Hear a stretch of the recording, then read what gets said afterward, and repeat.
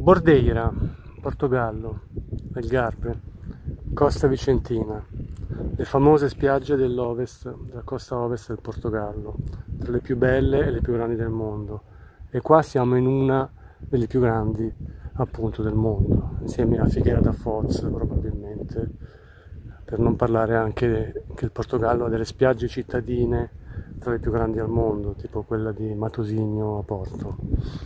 Questa è molto caratteristica perché è gigantesca. Parliamo non solo della lunghezza ma anche della larghezza, chiamiamola profondità, e ovviamente fatta da delle dune pazzesche che confinano con un, con un diciamo con un po' di con un, una palude e con un, un sacco di verde intorno Qui vicino c'è anche Praia do Amado, che è una delle spiagge con il più alto tasso di verde in prossimità della spiaggia.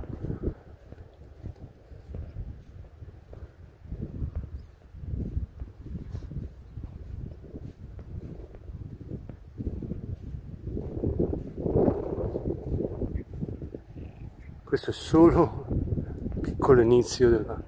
Praia di Bordera. Sono Max Gaetano,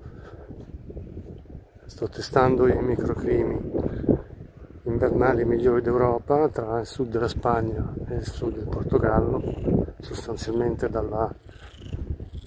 provincia di Alicante nella comunità valenciana, poi um, un po' di Mursia, poi la provincia di Cadice, in particolare Ciclana della Frontera, qualcosa in eh, provincia di Granada e Malaga che sono tra l'altro famose per la produzione, una, per una grandissima produzione, soprattutto la provincia di Malaga, eh, di frutta tropicale. Sembra che il 95% della frutta tropicale d'Europa arrivi dalla provincia di Malaga e il restante dalla provincia di Granada.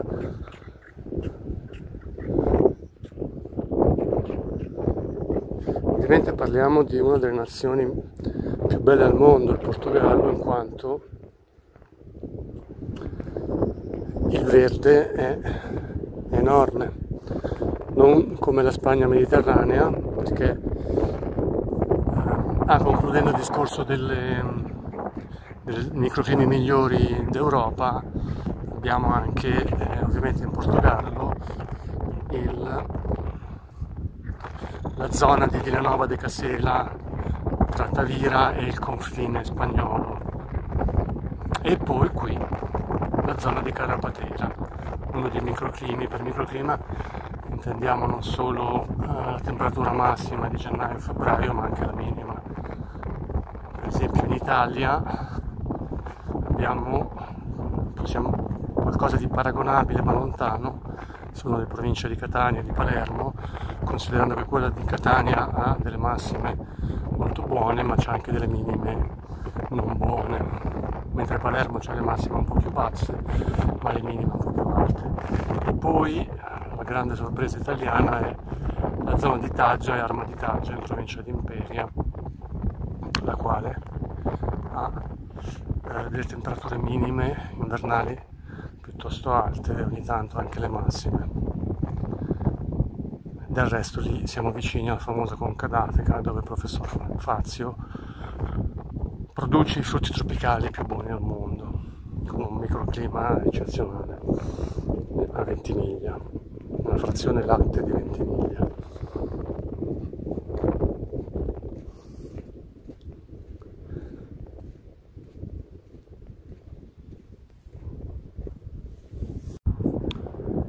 siamo neanche a metà del percorso da dove iniziano le dune e la parte sabbiosa, cioè dalla fine della parte verde, e il mare, guardate che, che gigantesca spiaggia fatta di dune.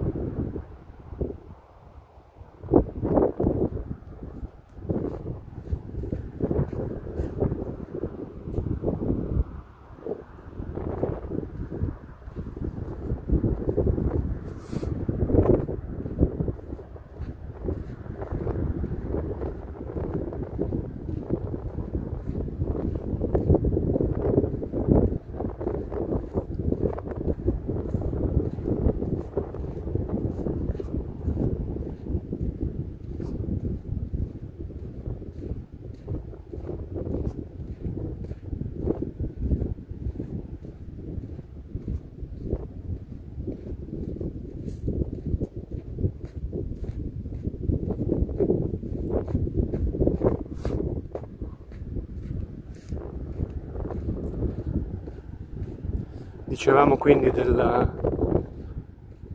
la Spagna che rispetto al Portogallo non ha tutto questo grande immenso verde, solamente nella zona oceanica della Spagna, cioè la zona che va da Tarifa a Cadige, c'è il verde in prossimità delle spiagge, ma purtroppo tutta la zona della Spagna mediterranea, parte pochissime eccezioni, è immensamente urbanizzata. Del resto i sindaci di Marbella e Malaga facevano una gara chi andava di più in galera per edilizio. E quindi eh, purtroppo la Spagna è una uh, e la maggior parte della Spagna è, è un altopiano e quindi la gente eh, è tutta riversata lungo la costa nella parte sud ma anche nella parte nord. E, tranne grosse città come Madrid che sono nel centro dell'altopiano e infatti è la capitale più, più alta d'Europa.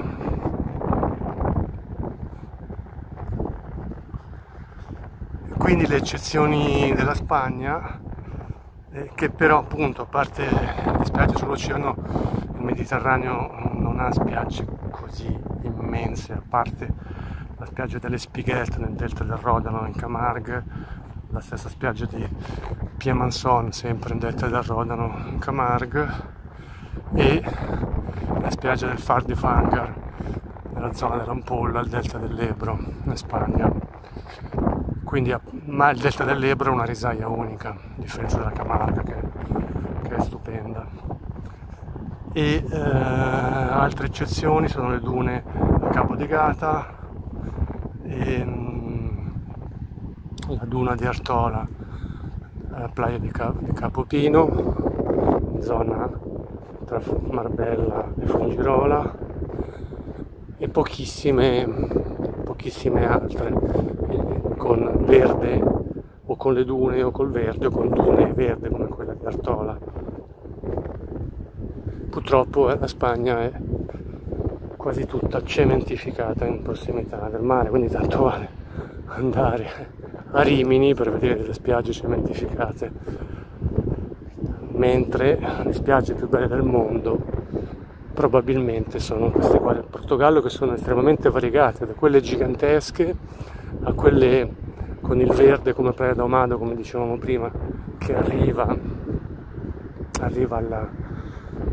col, col verde che arriva alla sabbia immensamente con alberi e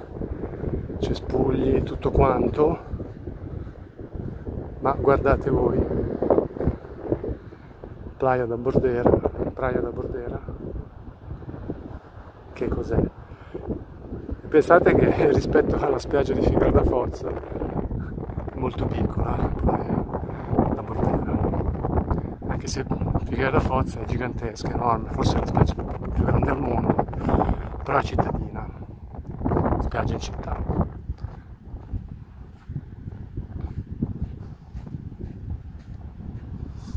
eccoci siamo in prossimità del mare del mare, dell'oceano. e si estende poi, questo è l'inizio, si estende poi lungamente.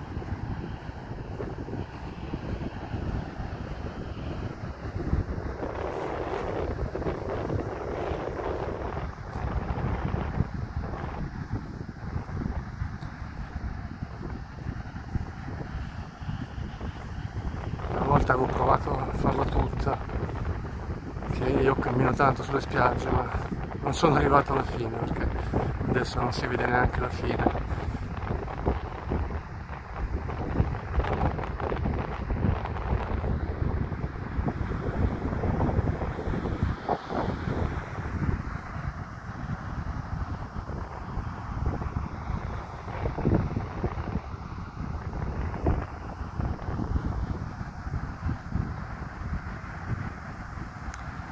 Praia da Bordeira, Algarve, Portogallo, Costa Vicentina.